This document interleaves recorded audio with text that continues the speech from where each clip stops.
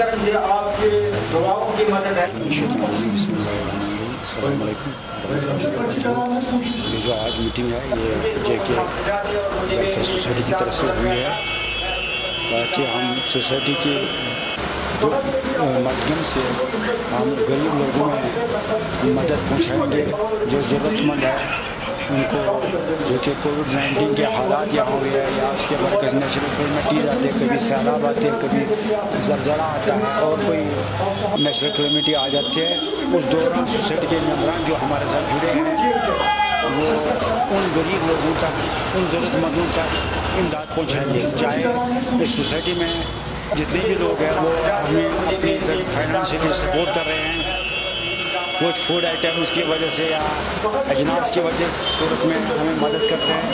ہم وہی آئٹمس وہی جو فائنانس ہم کو ملتا ہے۔ آج تک ہم نے جو خرچہ کیا ہے وہ ہم نے اپنی جیب سے کیا۔ کہیں کبھی کبھی کوئی گورنمنٹ نہیں نہیں ہمیں سپورٹ کیا ہے۔ نہ کسی نہ کسی سیاسی پارٹی نے ہمیں سپورٹ نہیں کیا ہے۔ ہمیں یہ جو بھی خرچہ کیا ہے آج تک جیسے کہ آپ کو یاد ہوگا، ہم نے پچھلے سال جب اپریل کے مہینے میں کووڈ نائنٹین کی وجہ سے لاک ڈاؤن ابریکٹلی ہوا ہے جو نانوائی لوگ ہیں، وہ بھی بند ہو گئے ہیں۔ لوگوں کو غذائی اجناس کی بہت پرابلمس تھی۔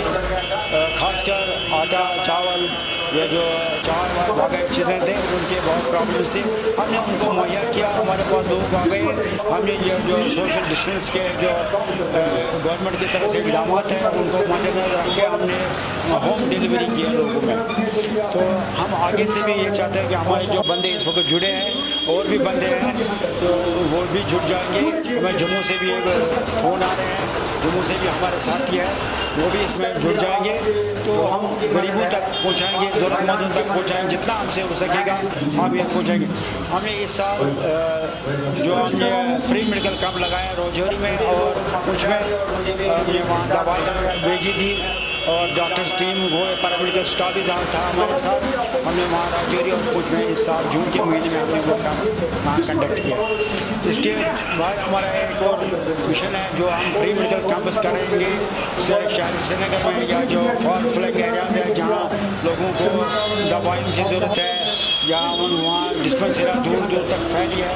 وہاں کو ملتا نہیں ہے دوائی ان کے رنگ سے یا ڈاکٹر میڈیکل ایڈوائس نہیں ملتی ہے ہم وہ کوشش کریں گے وہ تک پہنچانے کے لیے ہمارے ایک ساتھی نے ہمارے تجویز دے دیا ہے کہ ہم جو سکول میں غریب بچے ہیں ان کو اسٹیشنری آئٹمس پرووائڈ کریں گے اس پچھلے سال ہم نے جب دفعہ تین سو ستر ختم ہوا اس دوران ہم نے غریب بچوں میں اسٹیشنری آئٹمس ہم نے ان میں تک پینسل ربر کاپیاں ہم نے بچوں تو یہ آگے مشن چلے گا۔